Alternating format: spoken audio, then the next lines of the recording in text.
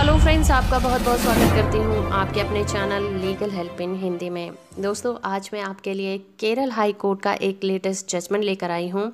इस जजमेंट की खासियत ये है कि हाई कोर्ट फैमिली मैटर्स की सुनवाई कर रहा था, जिसके अंतर्गत उन्होंने ये फैसला सुनाया कि शादी ब्याह के मामलों में अगर कोई ट्रांसफ़र याचिका दाखिल की जाती है तो ऐसी याचिका में पति की बजाय पत्नी की सुविधाओं को ध्यान में रखते हुए उस पर सुनवाई करनी चाहिए।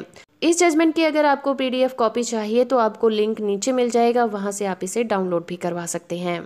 केरल हाई कोर्ट ने अपने एक आदेश में ये कहा है कि शादी ब्याह के मामलों में जब भी कोई ट्रांसफ़र याचिका दाखिल की जाती है तो उस वक्त पति की सुविधाओं को ध्यान में न रखते हुए पत्नी की सुविधाओं को ध्यान में ज़रूर रखना चाहिए। कोर्ट में एक पत्नी ने याचिका दायर करके उसके केस को ट्रांसफ़र करने की अनुमति मांगी थी। क्योंकि महिला के पति ने पाथन मथिटा की पारिवारिक अदालत में तलाक के लिए एक याचिका दायर की थी। महिला ने तलाक के इस मामले को तिरुवंतपुरम की फैमिली कोर्ट में ट्रांसफ़र करने के लिए अनुरोध किया था।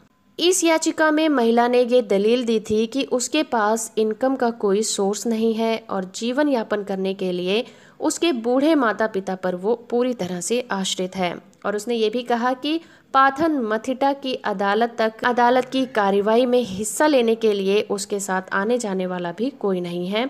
इसलिए वो तिरुवंतपुरम की अदालत में इस याचिका की सुनवाई करवाना चाहती है। कोर्ट ने कहा कि महिला के पति को नोटिस जारी करके मामले में पेश होने के लिए कहा गया था, लेकिन वो पेश नहीं हुआ। इसलिए इसे पूरी तरह से ये मान लिया जाएगा कि पति को तिरुवंतपुरम की फैमिली कोर्ट में मुकदमा ट्रांसफ़र होने पर कोई ऐतराज नहीं है। इस केस में न्यायमूर्ति सिरसी वी ने इस मामले में कुछ अहम फैसलों का भी ज़िक्र किया और कहा कि ये पूरी तरह से तय है कि वैवाहिक मुकदमों में ट्रांसफ़र याचिकाओं पर विचार करते समय पति की सुविधाओं के बजाय पत्नी की सुविधाओं को ध्यान में रखा जाता है।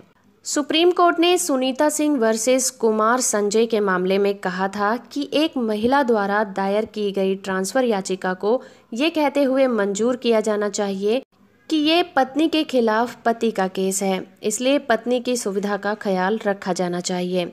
कोर्ट ने कहा कि परिस्थितियाँ इस ट्रांसफ़र याचिका को मंजूर करने के लिए पर्याप्त आधार भी प्रदान करती हैं। इसके अलावा सुप्रीम कोर्ट ने रजनी किशोर परदेसी वर्सेस किशोर बाबूलाल परदेसी मामले में इसी तरह की टिप्पणी की थी।